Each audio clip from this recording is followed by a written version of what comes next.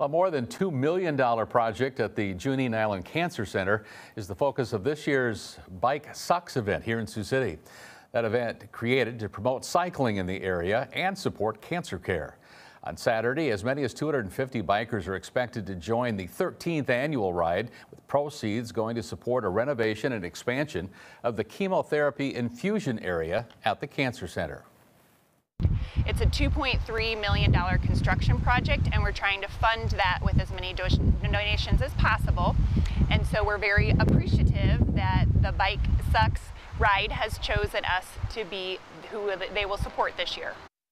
If you're interested, registration check-in begins at 8 o'clock on Saturday and the ride will start at 9 from Caribou Coffee here in Sioux City.